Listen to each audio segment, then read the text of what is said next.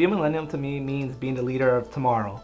I feel like now in these days we need leaders who are going to stand up for our communities and help develop the new generation and leading them into being what we could have been.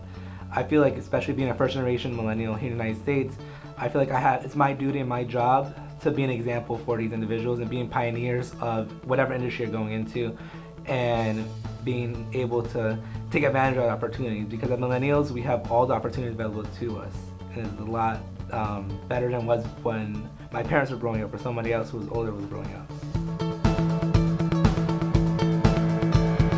I am a real estate agent. I've been a real estate agent for two years. Um, I got involved in real estate because I always watched family members and friends do really successful in real estate. A big thing that pushed me was seeing people like Fredrik Eklund, who was an immigrant from Scotland, come to the United States and build a big business in New York City. So watching that, I related to that. I'm like, I can do that same thing. So since being involved in becoming a real estate agent, I've helped many families buy houses, educate them, guide them through the stresses, and help them find this American dream that everyone's looking for. So I feel like a major part of my business comes from referrals because I, if I do a good job for my clients, they always refer me to their families, and I make my clients my families. Going forward, I think that I definitely want to grow in real estate.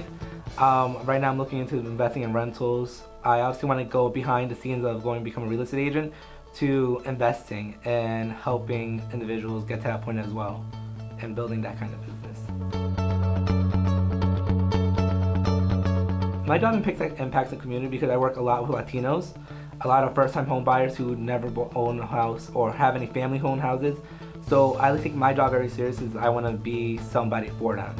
Um, I want to be like someone who are treating my mom. When my mom was buying her house, the agent that she had wasn't working for her. So I always took that into my own business and said I don't want my clients to feel the way my mom did. Because I remember being a kid and seeing my mom struggle and my dad struggle with finding a house.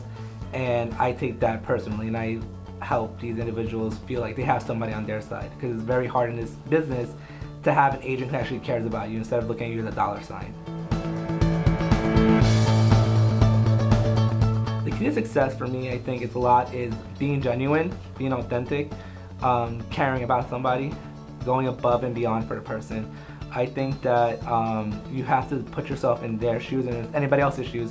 And to be successful, you just can't think about yourself. There's room for everybody on the top. There's room for everyone to be successful. So if we can help each other together, we can unite and create a bigger thing. My best advice for millennials is taking charge of your life.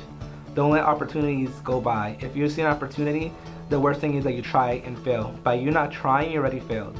So my best advice is whatever doors open up for you, take a take a chance and just sit down and looking look at it. Um, like you're in charge of your life, and don't get comfortable. The problem that so many people have is that they get comfortable and they don't go and chase their dreams. Our lifetime is very short, and you want to make sure you take whatever moments you have in life and live it to the fullest and go after everything you want.